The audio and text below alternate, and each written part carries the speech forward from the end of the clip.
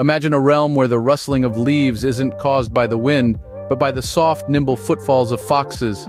This isn't a fairy tale, but a remote island where foxes outnumber humans. In this world, the orange and white inhabitants wake with the dawn. Their days are filled with hunting, playing, and socializing. The island's lush greenery provides a picturesque backdrop to the foxes' daily activities. These foxes are no ordinary creatures. Agile and crafty, they navigate the island's diverse terrain with ease. The foxes are masters of their domain, skillfully hunting for their meals and evading any potential threats. From the copse of trees to the rocky shoreline, the foxes have adapted to the island's varied habitats. Their diet is as diverse as the island itself, ranging from small mammals and birds to fruits and insects. But life on the island isn't just about survival.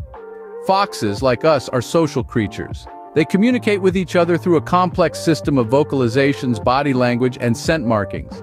At twilight, as the sun dips below the horizon, the island transforms into a symphony of sounds. The chorus of the foxes reverberates through the air, a testament to their communal lifestyle. As the night deepens, the foxes retreat to their dens, their homes in the heart of the island.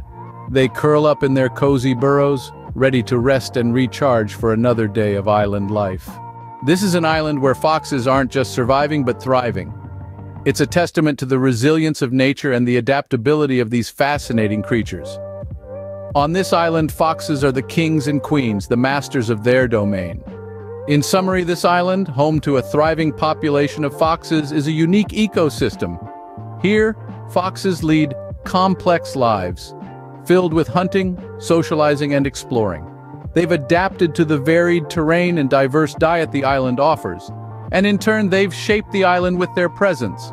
This is a realm where foxes reign supreme, a world that echoes with their voices as the sun sets each day. This island of foxes is a testament to the beauty of nature, and the adaptability of life. It's a place where the line between the wild and the civilized blurs, and where the foxes have written their own rules of survival. This is their kingdom, their home, and they live it with grace and wit. This isn't just an island, it's a world within a world, a realm of foxes.